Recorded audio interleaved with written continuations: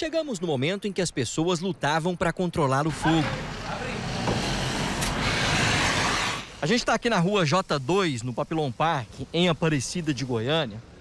Esse veículo vinha conduzido aqui pelo motorista, estava com a família, e aí ele percebeu que na parte do capu começaram ali a sair algumas chamas.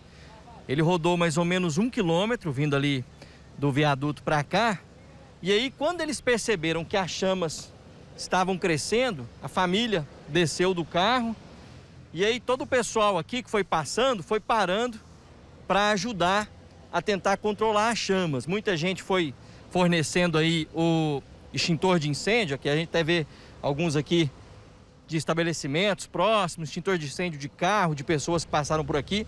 E aí o pessoal conseguiu fazer o controle das chamas, justamente quando o pessoal do Corpo de Bombeiros chegou e também jogou a água por cima. O feirante, que nem conhecia o pessoal do carro, se empenhou em apagar as chamas. O herói do dia. Ao já presenciar um outro incêndio, um outro automóvel em um posto de gasolina BR-153, já tinha mais conhecimento de que tinha que ser aberto o capu do veículo, retirar o polo da bateria.